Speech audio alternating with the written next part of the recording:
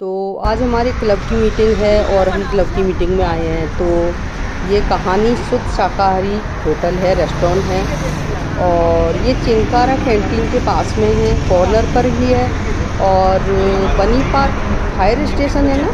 इसके सामने है। अच्छा भैया ठीक है।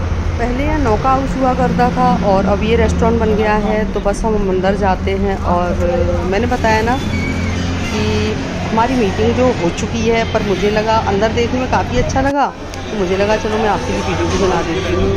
और ये इस टाइप से है बाहर की सेटिंग और ये सामने दिख रहा है ना ये हॉल है जिसमें हमारी मीटिंग हुई है।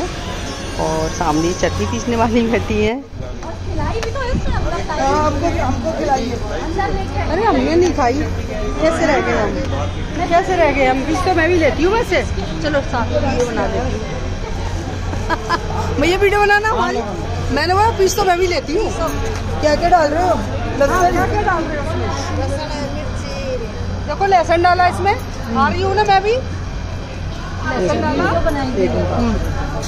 ऐसी मिर्ची डाल रहे हो मिर्ची डाल रहे हो? इसी डाल रहे हैं। इतनी? और? बस और डाल दे और नमक भी तो डलेगा। और डाल दे बकरा गाय को खा नहीं मैं तो सब डालूँगी। नमक डाल दिया लाल मिर्ची डाल दी सादा नमक डाल दिया। ये बता नहीं रहे हैं ये क्या है ये? अमचूर। ये अमचूर डाल दिया ठीक है? ये छिपा रहे हैं मेरे से पर मुझे पता है सब डलेगा धनिया भी डालोगी? धनिया भी डलेगा। एम का। है ना? और ये तो बनी रखी है। पानी पानी। और और, और ऐसा नहीं है मेरे को आता है पीसना। ये पानी डाल दिया। और देखो चटनी बन गई। आप क्या सोच रहे हो? आप ही जानते हो पीसना क्या छोड़ दे अरे कोई ना फूटेगा। क्यों फूटेगा? बन गई चटनी। बंद कर दूँ? आपसे बात कर दूँ क्या?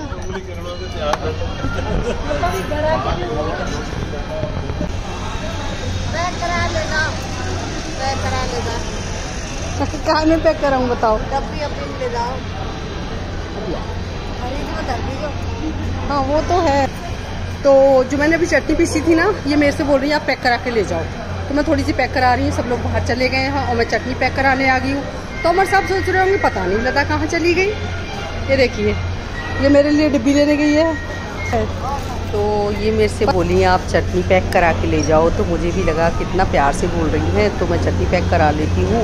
तब तक मैं होटल भी आपको दिखा देती हूँ, बाहर बाहर, अंदर से। तो ये बाहर का एरिया है, खुला एरिया है, जो रात में दिखाई दे रहा है आपको। काफ़ी अच्छा लग रहा था रात में। और हमारी तो पार्टी होती है, क्या है, लोग ज़्यादा होते हैं तो हॉल में होती है। ये बाहर का एरिया है। तो काफ़ी टाइम हो गया, मुझे लग रहा है सब बाहर वेट कर रहे होंगे और वो चटनी लेके नहीं आई और मुझे लगा कि स्टाफ में खाना पूछी हो रही है आपस में। तो मैं समझ गई कि कुछ न कुछ चक्कर है तो शायद उस बेचारी ने तो बोल दिया, पर सबको लग रहा हुआ कि पैकिंग करके क्यों दी जाए चटनी तो फिर मैं समझ गई और मैंने, उन्होंने मुझे पूछा, मैडम, क्या है? तो मैंने बोला, भाई, कुछ भी नहीं है, मुझे चटनी नहीं चाहिए, मेरा तो वैसे भी बाहर सब वेट कर रहे हैं तो मैं बाहर जाती हूँ। तो अमर साहब सोच रहे होंगे, लता पता नहीं कहाँ गायब हो गई तो हम बस बाहर जा रहे हैं। और देखिए, मैं बताती हूँ, सारे लोग मेरा वेट कर रहे हैं, किसी को पता भी नहीं है, मैं चटनी का वेट कर रही थी। अब वीडियो देखेंगे ना, तब पता चलेगा सबको। गाड़ी आई? कैसा था खाना भैया? कैसा था खाना?